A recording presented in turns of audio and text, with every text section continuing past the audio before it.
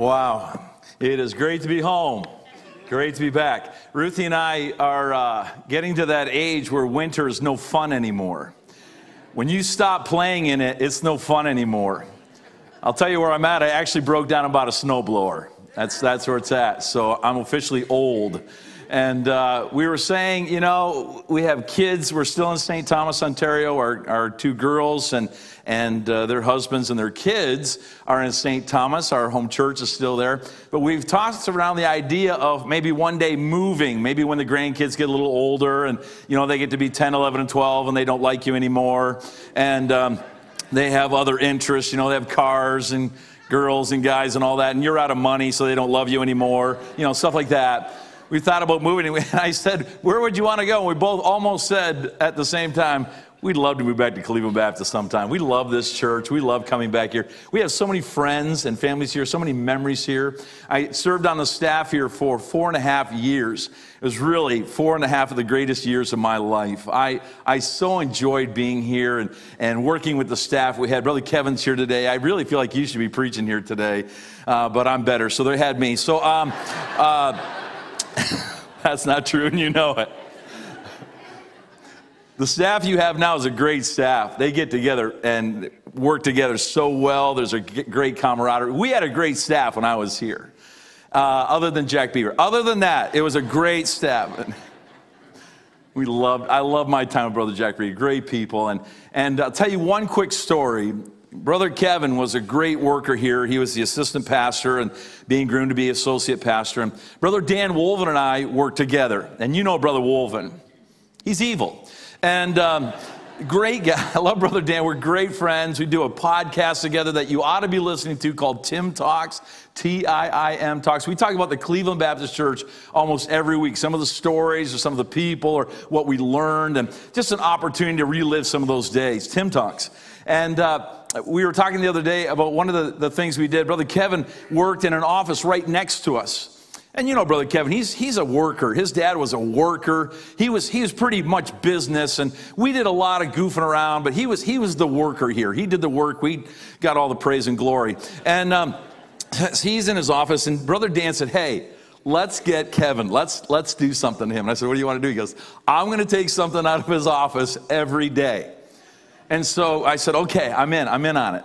So we'd go in, and Dan would take the stapler off Brother Kevin's desk and he'd put it in his office.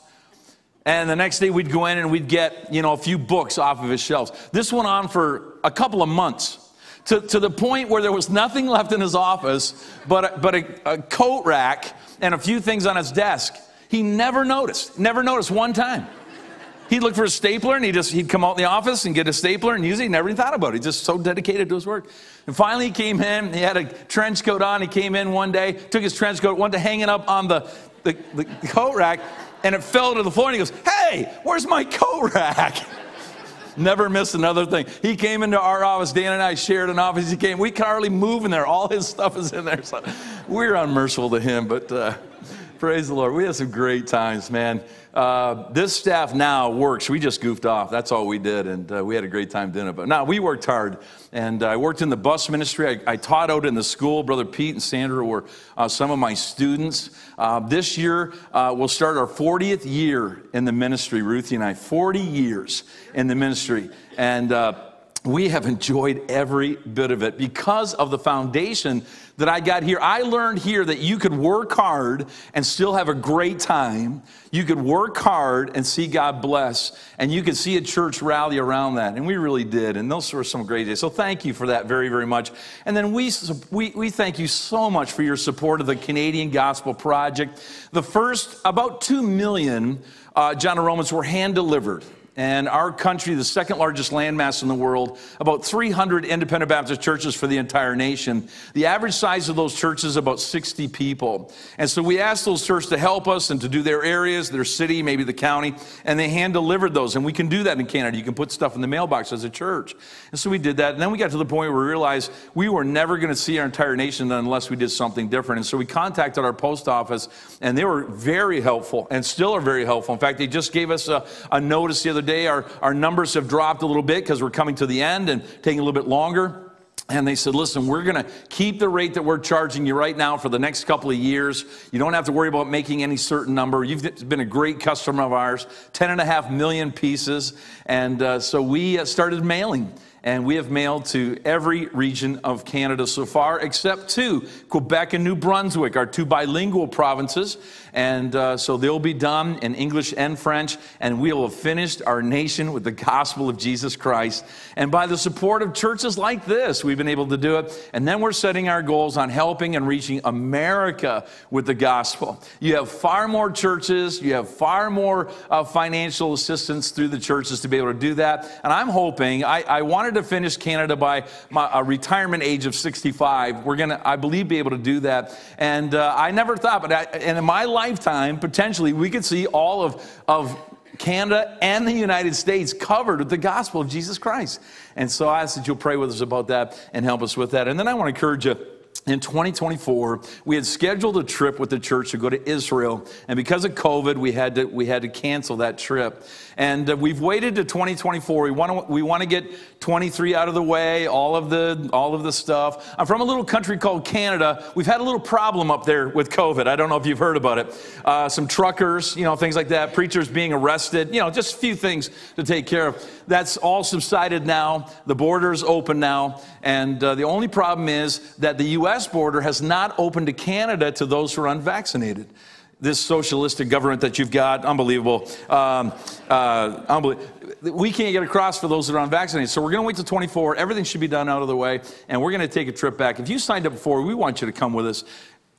I'm telling you, it will change your life forever if you will go and see those places that we speak of in the Bible. You'll hear it, you'll taste it, you'll touch it, and it'll change your life. If you go to alstone.ca for Canada, all the information is there. Pastor will get some information here in the next few weeks. Brother Tom will help us and put that together.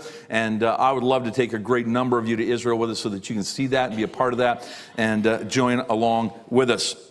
I was thinking, uh, you know, today we, I came for men's prayer, had a great time. And I was thinking that for years in this ministry, really from the beginning, uh, the Folgers were part of the foundation of the church. Your grandparents, and then your dad was on staff, and then you were pastor, and, and, and now uh, Brother Pete is pastor. So there's a long line of succession here. And then I, I had prayer time and breakfast with Toby this morning. Dear God, please, please help. Toby is a great young man. I said to Toby today, I said, Toby, what do you want to be when you grow up? He said, I don't know. I said, Toby, I'm going to start praying that you'd be the pastor here someday. Wouldn't that be great to carry that on? And uh, he, uh, he yesterday went out with his grandpa, and I, I, think grandma was there too. They went to McDonald's, and he called his dad while we were down in Amish country, and he said, Dad, I ate, I ate 18 chicken McNuggets. 18 chicken McNuggets today. And so he came in this morning and he didn't, he didn't recognize me, didn't know me. He goes, Hey, Dad, who's that guy? He goes, That's the guy from Tim Talks that does the big slurp when he introduces the program. And I said, I'll tell you who I am. I'm, I'm the guy that can eat 20 McNuggets.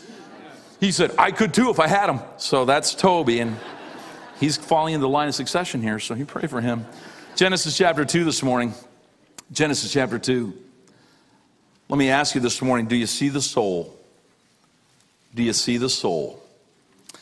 Let me be completely transparent with you. We have some visitors here today. I met two uh, lovely young ladies. They're here from Germany today. And uh, guten Tag to them. Guten, guten Nagen. Good, uh, that's good night. Guten Morgen. Uh, good morning is uh, German. We have some German folks in our area, and they're visiting. And, and I want to let them know a little bit about who I am and who you are and who our countries are. I was raised in a Christian home. My parents were saved as teenagers. They got away from the Lord as they got a little bit older in life. In those uh, later teen years, as a lot of young people do. And they started to partake of the activities of this world, things that were not the Christian life. My mom and dad got married, and when they did, they realized from their Christian training that they ought to be raising their kids in the Lord. And so when I was born, they went back to church for a short time. My sister and I were born just uh, 13 months apart. And so they took us to church and they did a dedication service. They dedicated us to be raised in the things of the Lord. And my mom and dad did that for a little bit, and then they got away from the Lord again. And I was uh, about five, six years of age, and my uncle, who was a godly man, a deacon at the church that I grew up in, said to my mom and dad, Would it be okay if I took the kids to church? And my mom and dad said, Yeah, that'd be fine. You can do that. And so for years, he picked us up Sunday mornings and he took us to Sunday school. And my dad would pick us up after the service. He'd go play hockey on Sunday mornings in the wintertime. And one uh, Sunday morning in the winter, he uh, came to pick us up and he was sitting in his truck outside the church and he saw people coming out of the church. And God began to break his heart, began to really burden him that he had promised God that he would raise us in the things of the Lord and realize he wasn't doing it. And he said, God spoke to him and said, You know, I have every right to take you from this world because you made a promise and did not keep it. You vowed to me. And my dad got scared. My dad said, God, you're right. And so we got in the truck that morning. My dad said, Hey, how would you like? How would you guys like to go to Sunday school uh, and church together as a family every week with, with me and mom? And I, we said, That'd be great. We'd love that. And so they started back to church and never missed from that time forward and raised us in the things of the Lord. I grew up in a very fundamental Baptist church. Many of you remember Dr. Harry Strachan. Dr. Strachan was my pastor. He led me to the Lord when I was nine years of age. I loved him. He and Dr. Thompson had the, the, greatest spiritual impact in my lives. One led me to Christ, one taught me how to uh, serve in the ministry of Jesus Christ. And I, I remember uh, some of the, the last memories I have of those men. My father in law had cancer, and Dr. Strachan had cancer as well, and he was in hospice, and it was, he, was, he was dying. We knew he was getting ready to go, and, and uh, it was a Christmas. And my father in law said, Hey, let's, let's go visit. He always loved to visit people that were in hospital or, or, or in service the fire department, someone on a Christmas morning. And, and so he said, Would you go with me? And I said, I'd love to go with you. And so he said, Let's go see Brother Strachan. I said, I'd love to. And so we went, and, and I'm in a room with Dr. Strachan, who led me to Christ. I'm in the room with, my, with the man who mentored me and trained me and loved me, my father in law. And, and, we're talking, and I walked in and I, I said, Dr. Strachan, I said, I don't know if I've ever told you this, but I want to tell you that I love you. And I am so thankful that you led me to Christ. I said, I will never forget the day as a nine year old boy when I knelt beside my grandma's couch. My grandma and I trusted Christ as Savior. I'll never forget that. I said, Dr. Thompson, Dad, I said, I will never forget when I came on the staff of the Cleveland Baptist Church and you took a young kid and took a great chance and allowed me to come and work here and marry your daughter. I said, I will never forget that. I'll never forget the training that you've given to me. And my father in law said, Al, why don't you pray for us? And I was so taken. I thought, I'm with Moses and Elijah. How can I, uh, Dr. Dr. Strachan and Dr. Roy how can I pray for those guys? And so I prayed and I wept through most of it. And I said, God, thank you for these men. Aren't you glad we've had men in the ministry of Jesus Christ who have taken a strong stand and, and chose the right side of every, every issue and here today sounds a testament of men, Dr. Thompson, Brother Folger, now Brother Folger, again, men who have said, you know what, we don't care about society, what society thinks. We don't care about the, the public opinion. We are going to preach the Word of God. Amen. We're going to stand by the Word of God. Fundamental Baptist churches, that's who we are. I live in a very conservative part of Canada. You may think that all of Canada is liberal. It's not. Our city centers, like here in the United States, are very liberal. Toronto, our largest city, the fourth largest city in North America. Toronto, over 8 million people, very liberal. Very liberal. I live in a very conservative area of Canada. I grew up singing the national anthem and reciting the Lord's Prayer in school as a kid. I received a worksheet in grade two that, that had a, a family that the father was in a suit and the mother was in a dress and the little boy had a suit on and the little girl had a dress on. They were walking towards a building and it said, What is this family doing? And the answer was, They're going to church.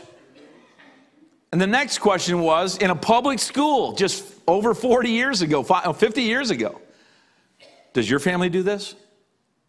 On the other side, the family sitting at the table, their hands are folded. The question is, what are they doing? The answer is, the next question Does your family do this? Could you imagine a public school teacher today passing out that paper in a public school and asking those questions? You know there would be outrage, there would be a, they'd be suspended or fired.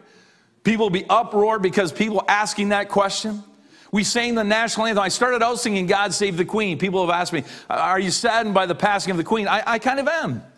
She, she was our monarch. She was a figurehead for us. She didn't have much control over Canada, but, but she was a representative of our nation and represented our nation. And, and so when she passed away, I, I got a little choked up, I'll be honest, because I sang God Save the Queen.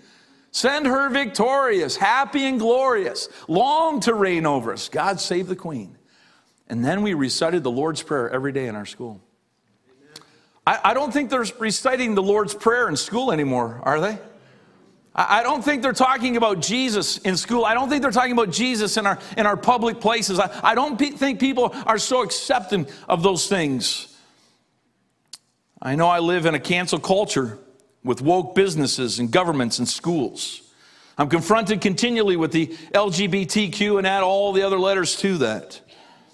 The transgender movement of this day. The binary. We don't know what we are. We don't know if we're a man or a woman, what we should be. People are confused on that. And who knows what next ideals will come along.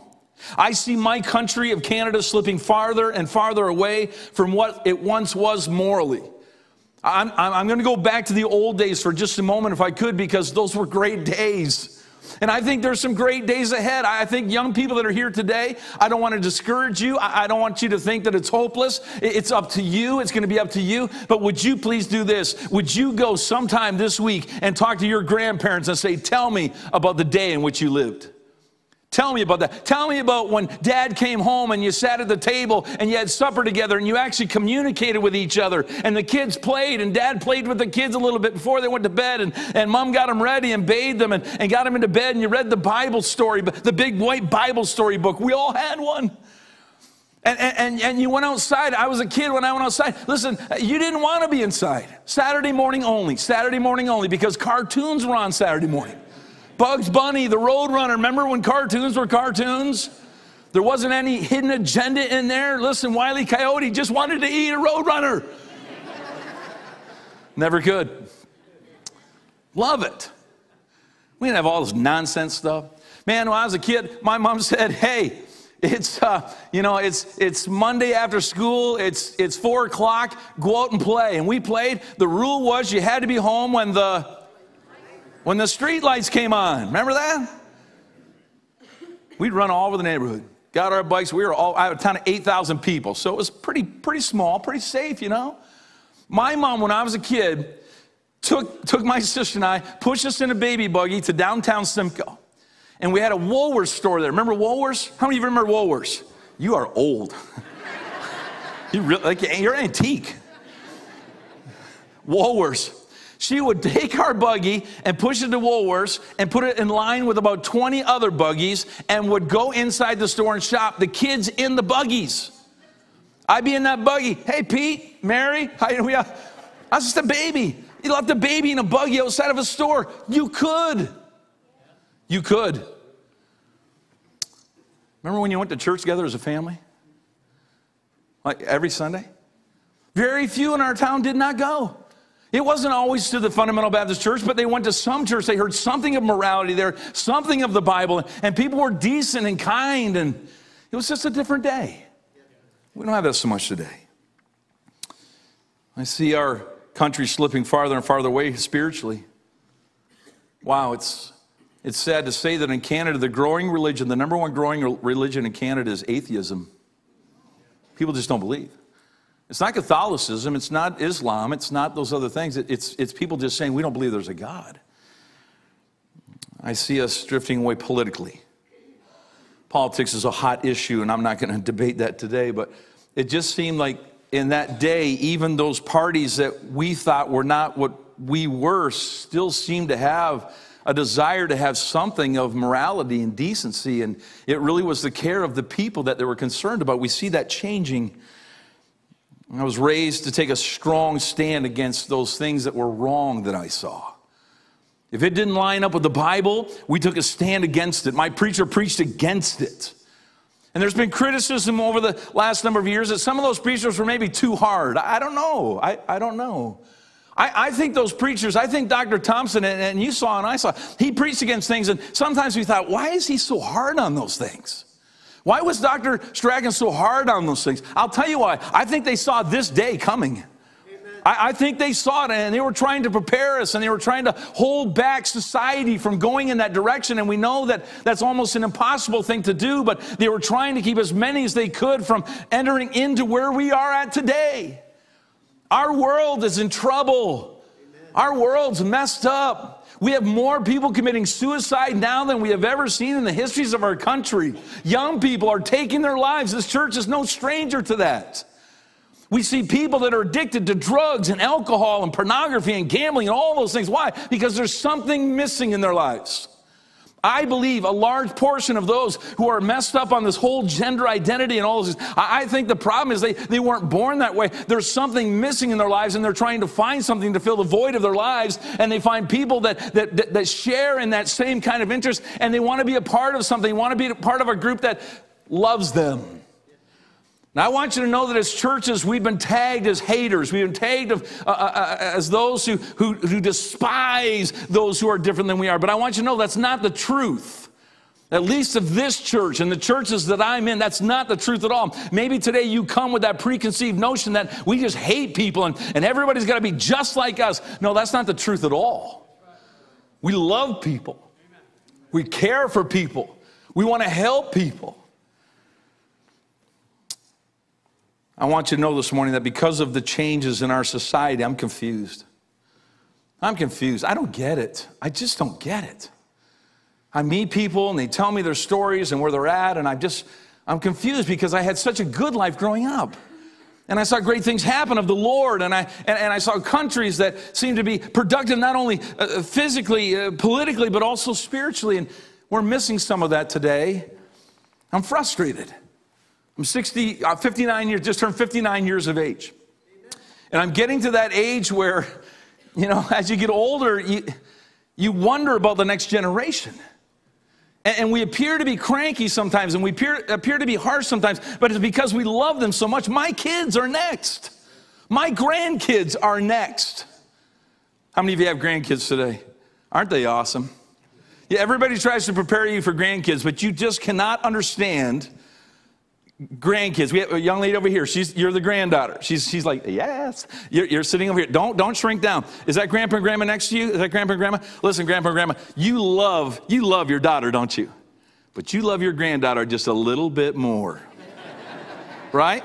That kid gets away with stuff you never got away with. She can eat what she wants, sleep where she wants, go where she wants, and all she has to do is look up at grandpa. You call him grandpa? Is it grandpa? Does that work? What's he? What's she call you? Papa. Papa, I love you. What do you want? What do you want? Get the wallet out. What do you want? Right? I'm Poppy. I wanted my kids to call me Big Poppy. I wanted the kids, grandkids to call me Big Poppy. My daughter said, That sounds like a gangster. You're not, you're not going to be Big Poppy. They call me Poppy. My grandson calls me Poopy Poppy. But that's okay. That's okay. Ruthie is my sweet Nana, and I'm Poopy Poppy.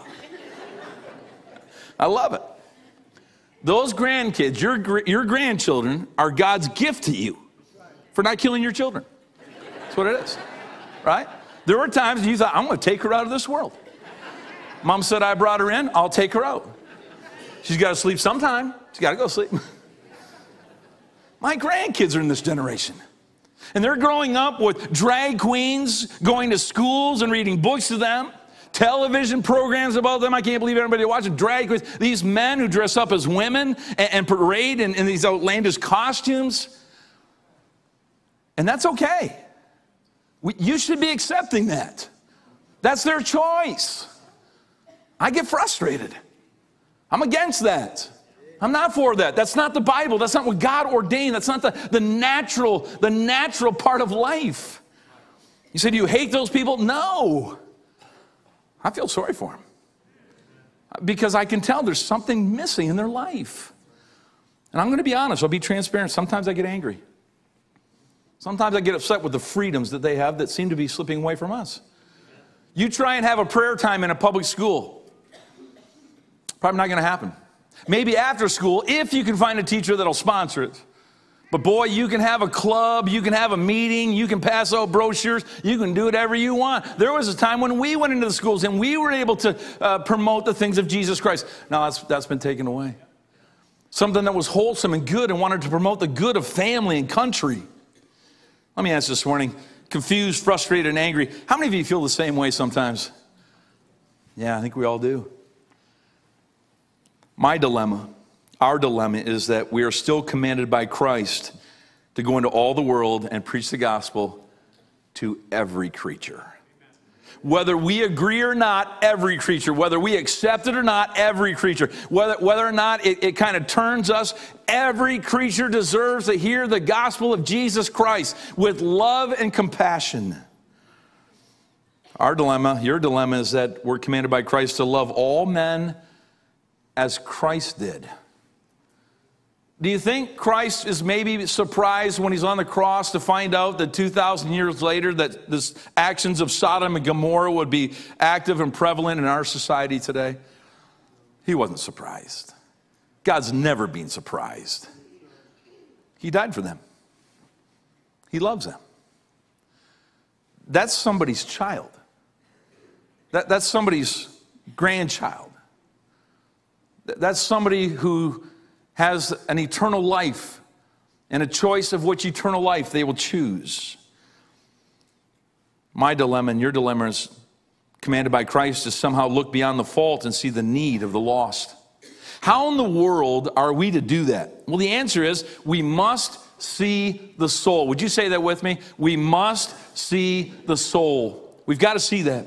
Looking beyond the flags and the operations and the effects of sin and the desire for it to see the soul of mankind. Look at the person next to you this morning. Look at the person next to you or around behind you. Look at, look at someone today. That's a soul.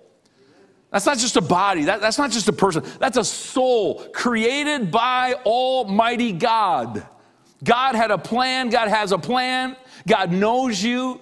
God cares for you. God sent his son to die on a cross to pay the penalty of the sins of your life. And I don't think any of us would argue today that all of us have sinned at some times in our life. We have disobeyed the word of God. We have disobeyed the command of God. We've disobeyed the laws of the land. We have sinned in our lives. And God sent his son to die on a cross, to die in humility, to die in great agony so that we might have a forgiveness of sin. And if we simply accept that, we can have the hope of eternal life through Jesus Christ our Lord. Aren't you glad God loved you?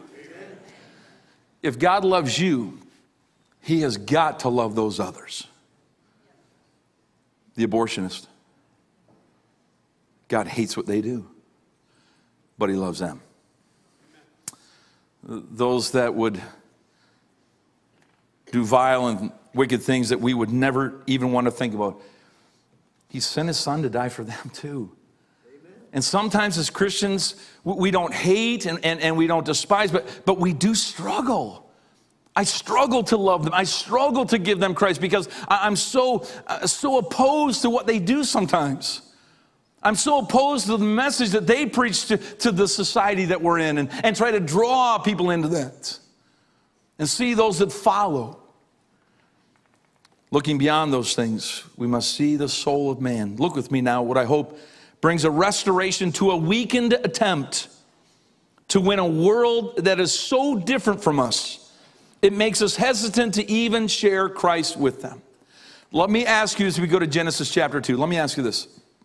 When you see someone who's a drug addict or an alcoholic, pornographer, somebody who partakes of pornography, gambling, LGBTQ, trans, binary. When, when you see them, do you hesitate to talk to them about Christ? Do you go out of your way to maybe not make contact with them? Do, do you maybe harbor in your heart some bitterness that, that keeps you from telling them of the things of Christ? The, the truth, my friends, is that every one of those that I just mentioned, and more, I don't have time to mention them all, but anybody who's contrary to what we all of them need Christ. And who's going to tell them if we don't? Genesis chapter 2, verse 7. And the Lord God formed man out of the dust of the ground and breathed into his nostrils the breath of life. And man became what? A living soul. It was just a body before God breathed into it. And what brought that body from just a body to life, the soul? The breath of God. The breath of God brings alive that body. This body that you see is alive because of the breath of God. We just found out we're going to have our fourth grandchild here uh, this year. We're so excited about that. And, and we've been watching, they have apps now that show you where that baby's at. Our, our baby right now is a prune, size of a prune. And, just, just a few weeks, just a few weeks. And, I, and I found a thing the other day on the internet and it showed the progression of that, that baby. It's not an embryo, it's not, it's not a fetus, it's a baby in there. That's, that's a baby. If that baby's born, it'll be a human baby. All right? So that baby, and we see the progression. And man, it's so exciting. Because I can tell already that baby looks a lot like me. kind of prunish. With intellect and thought and emotion and love from God. The only way we know love in this society is because God is love. And He has put inside of us a little piece of Him that we become like Him, created in His image. We have a love. God sees the soul, we see the body. God sees the heart, we see the sin. In 1 Samuel 16, verse 7, the second part says, The Lord seeth not as man seeth, for man looketh on the outward appearance, but the Lord looketh on the heart. We do see the outside, and we do judge by the outside. And I'll be honest with you, sometimes growing up in, in, in, our fundamental churches, we put a lot of emphasis on the outside. If, if a person looked right, if they had the right Bible, if they had the right haircut, they had the right length of, of skirt, then they were a good Christian. Truth of the matter is, that wasn't true. That wasn't true. And we put a lot of emphasis on that. And, and, and sometimes, and I'll say it myself, sometimes I, I should have put way more emphasis on the Holy Spirit relationship of the soul. That this was right, the inside right, the soul was right. Because when the soul's right, the rest follows. If we ever hope to win the world that we're in, I'd say a messed up world, we must see the soul. We must first see that the soul is life. Would you go to Jeremiah chapter 1 with me? The soul is life. Jeremiah chapter 1.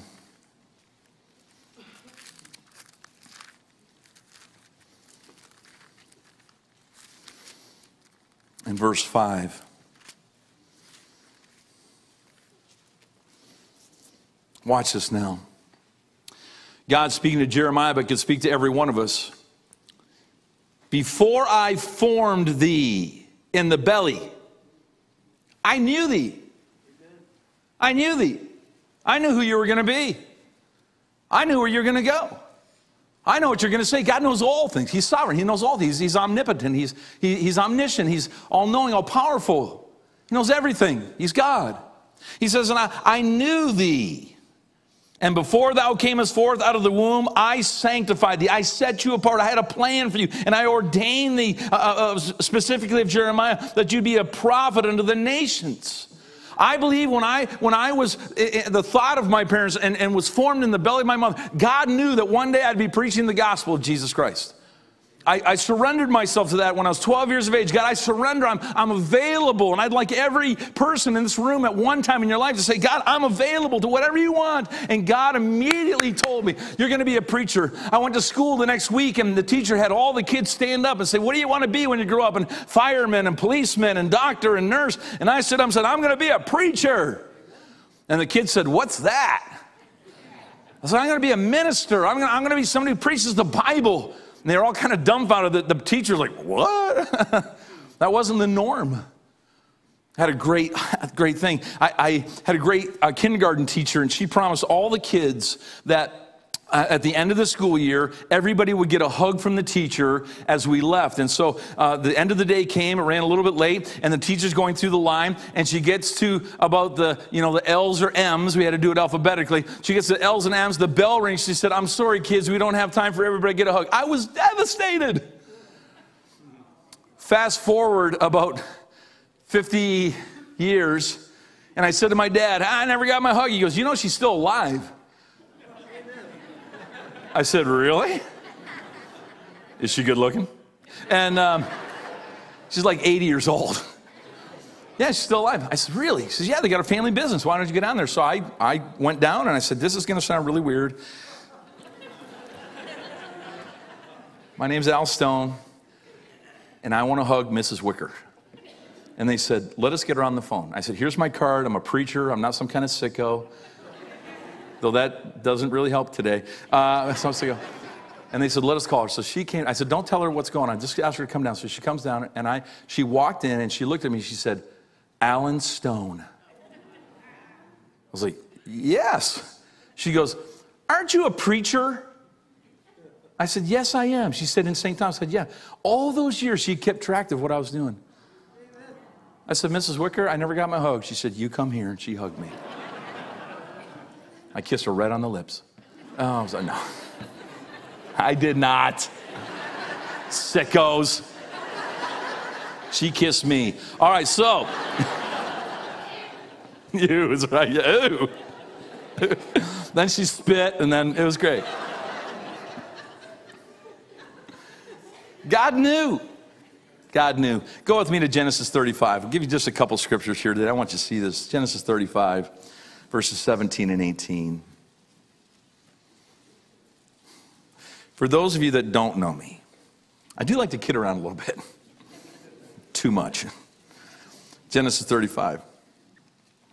Verse 17, and it came to pass when she was hard in labor that the midwife said unto her, Fear not, thou shalt have this son also. And it came to pass as her soul was in departing, for she died. That's death. When the soul leaves the body, that's death.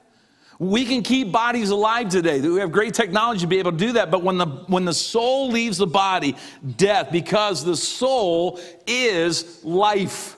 You are here today because your soul is present within this body. That's why we hold so dearly the sanctity of life. That's why we want to protect the unborn because we believe that's life. That's why we want to protect our, our seniors because that's life. And God is the giver and the taker of life, God tells us not us. Every person you see and even don't see in utero is a soul, a life created in the image of God, and God counts that soul as very special to him. In fact, he tells us that the death of his saints are precious in his sight. This church has had hundreds, thousands of funerals over the years. And every person who leaves this world knowing Jesus Christ as their personal Savior, having accepted Him as their Savior, leaves this world and it's precious in the sight of God. I, I don't know what happens when we get to heaven. We have all kinds of speculation, don't we? I don't know who's going to meet us at the gate. I, I don't know Peter's even standing there in guard. But I, am going to go there someday and I, am going to see a sea of people and I'm going to know a lot of them. I'm going to see my father in law, Dr. Roy Thompson. I'm going to see Dr. Strachan. I'm going to see my sweet grandparents that have gone, some uncles and aunts that have gone, some of my church members have gone. I don't know if they'll greet me or what, but I know this at some point I'm going through that crowd and I'm going to say, I want to see Jesus. Maybe he meets us first. I don't know. But it's going to be awesome, precious. I, I, envision in my mind, and I could be all wrong, and I think God gives us a little attitude, but I, I know that, that we're going to fall at the feet of the Savior in awe and in thankfulness. But I just think, maybe it's me, but I just think He's going to rise us up and embrace us and say, I'm glad you're home. I love you. This church taught me a great lesson. Lois Mosier's, Lois in here, she in Sunday school. Lois is right here. Lois Mosier's and, and, and uh, ladies like her, her sidekick for how many years have you guys been sitting together? Long, long time. Ladies like this who came up from West Virginia, Kentucky. I was a kid from Canada. We're not a very emotional people. I'm not a typical Canadian, I'll tell you that right now. I was ruined by the Cleveland Baptist Church. Um, at home, we'd have handshaking and hello, hello. At Cleveland Baptist Church, when I was, when I was a kid here, you know, 30 years ago, 35 years ago, those, those ladies from West Virginia, Kentucky, they, they, weren't, they weren't satisfied with just shaking your hand. Man, they hugged you. Hello, sweetie. Good to have you here today. I'd be like, hello. I got where I liked it. And I'd hug them back. My mother-in-law taught me. She said, she said, good night, Ted, I love you. I told the folks at the retreat this. She said, good night, Ted, I love you. And I said, thank you. I went home and I tried it with my mom and dad after several months of living here. I went home and said, hey, mom and dad, Ted, I love you. And my mom said, Thank you. I learned, man, that hugging, that loving, that, that's great. And I, I, I hug my kids and I embrace my grandkids. I just have to think that when I get to heaven, the Lord's going to say, Well done, my good and faithful servant. I'm glad you're here. And then we see this the soul is not only life, the soul is lackadaisical. There's a period of our lives where our soul is just ignorant of what is right and wrong. For the first part, it's the age of unaccountability. There's no understanding, no reason. There are some folks that are born without the ability to reason in their lives. They've, they've suffered maybe something in birth, or they've been born that way that they can't grasp those things. They're innocent, the Bible tells us. But even as we grow older, there are times when an untrained soul just messes up because they just don't know better. Go, if you would, to the book of Leviticus. Leviticus. You're probably someone today, they don't have a Bible, share with them, or someone's visiting, they've share with them. Leviticus chapter 5, over just a few books, and verse 15. says, If a soul commit a trespass and sin through ignorance, through ignorance, in the holy things of the Lord, then he shall bring for his trespass unto the Lord a ram without blemish out of the flocks, thy estimation by the shekels of silver, after the shekels of the sanctuary for a trespass offering. There are times when people are just ignorant, ignorant of sin. Can I tell you that we, we, with the advent of the theory of evolution, we have many in this world that are just ignorant as to who God is. They don't know.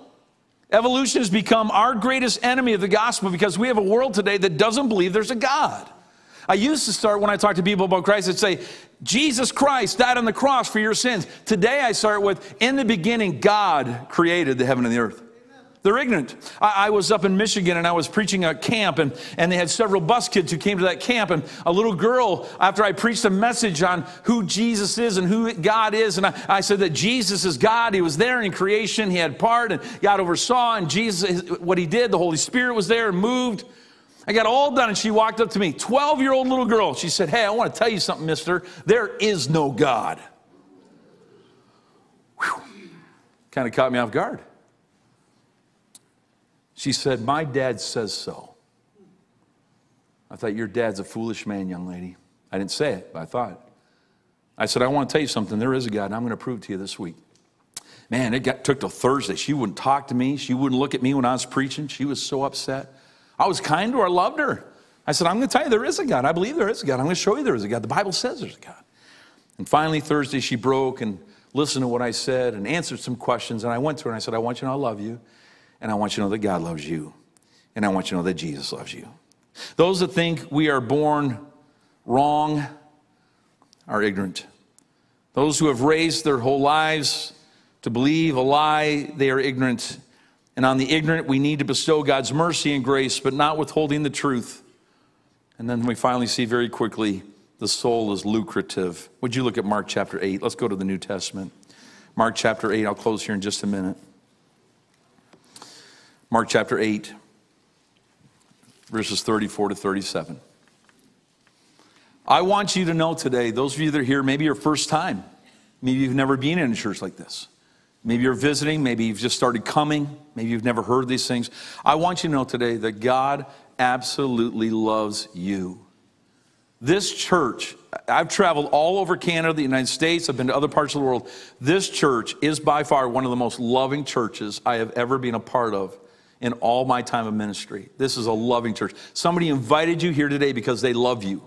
Somebody invited you here today and hoped that you would hear a message that would help you to understand why they believe what they believe. Let me show you this in Mark chapter 8 the value of your soul, the value of you to this church. In Mark chapter 8 and verse 34, and when he called the people unto him with his disciples, he said unto them, Whosoever will come after me, let him deny himself and take up his cross and follow me. For whosoever will save his life shall lose it. But whosoever shall lose his life for my sake and the gospel's, the same shall save it.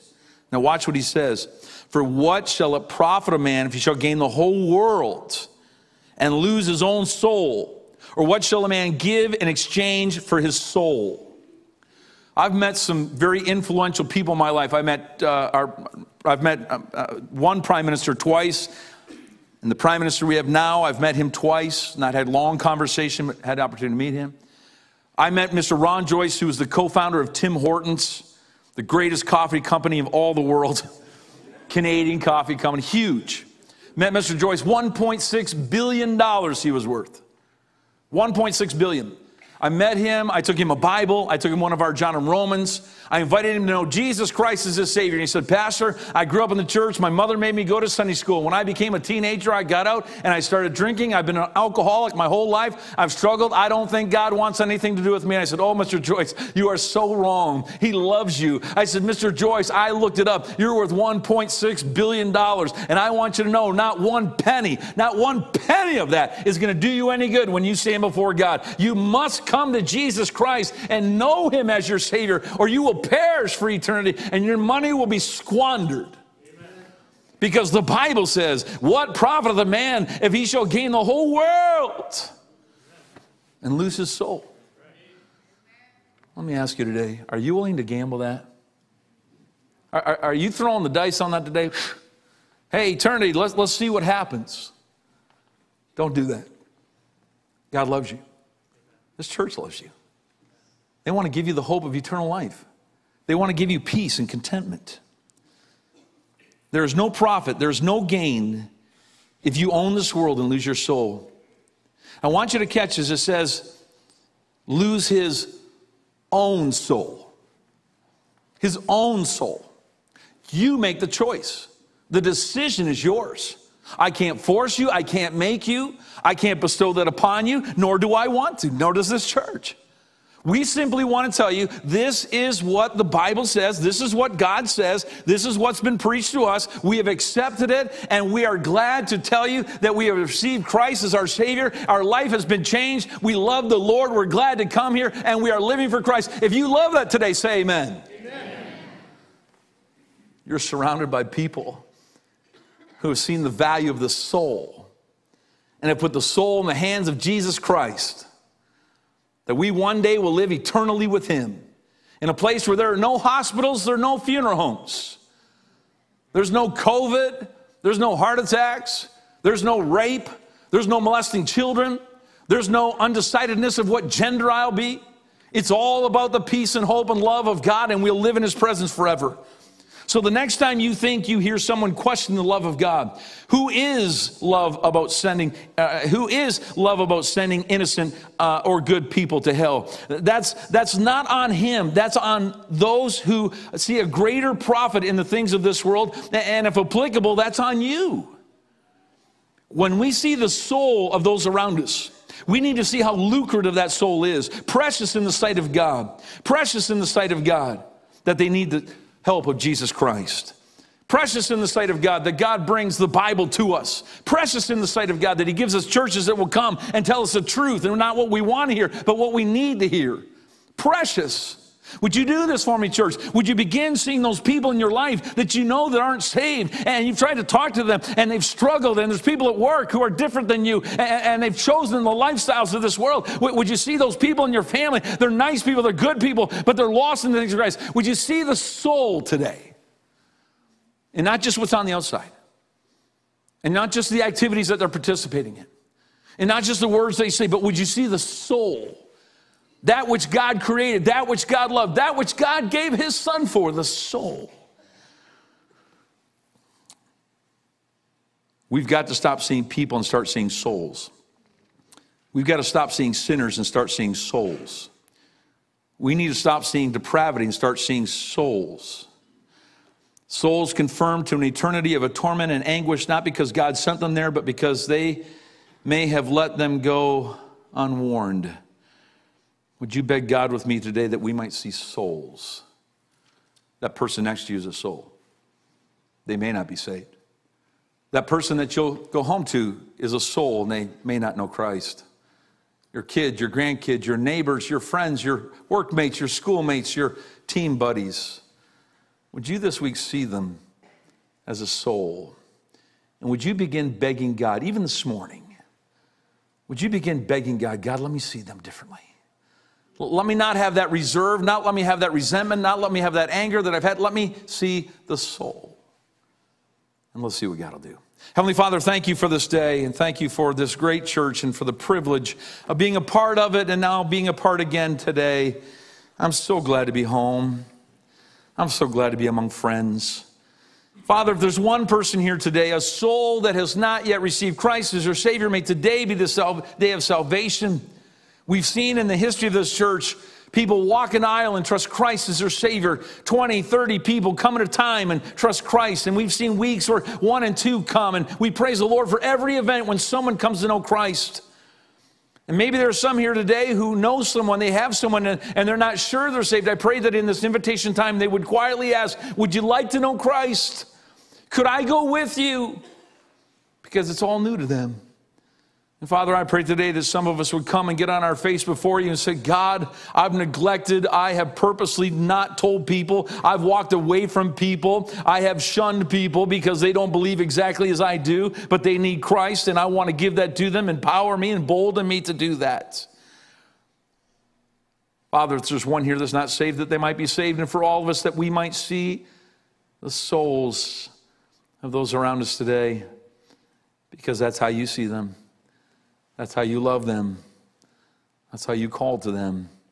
Help us, I pray. Our heads are bowed and our eyes are closed this morning. Let's just take a moment of personal reflection. Let me ask you today do you know Jesus Christ is your personal Savior?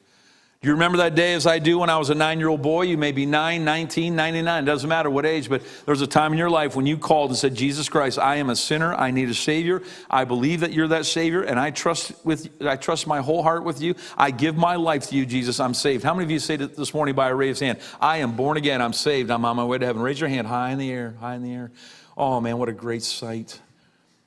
99.9% of the people here on this main floor in the balcony said, That's my testimony, I'm saved. But there are some here today that did not raise their hand. I saw a few didn't raise their hands. I wonder today if you would allow someone to take a Bible and show you how to be saved so you could have the hope of eternal life. God loves you that much. He brought you to this place today to hear that message, to let you know that somebody cares enough. They want to tell you about Christ. Is there one here today say, I'm not saved? I'm not saved. I'd like to be. Would you slip your hand up and hold it for just a moment? I see it. God bless you. Back in the back there, I see you. God bless you. Thank you so much. Thank you, young man. God bless you. Is there someone else? I'm not saved. I don't know Christ. I'd like to. Amen. Back here. Amen. God bless you. The center section there. God bless you. Over here on this side, my left side. God bless you. Thank you for that. Are there others? I'm not saved. I'm not saved. Young man right here in the back. God bless you. I see you. Thank you, buddy. Here's what I'm going to ask you to do today. When we stand in a moment and we begin to sing, I'm going to ask those that aren't saved, would you come and let someone take a Bible and how to get saved? Say, Preacher, that's a long way down the aisle. I promise you this. You make the first step, you kind of float the rest of the way. There are people here that will come with you.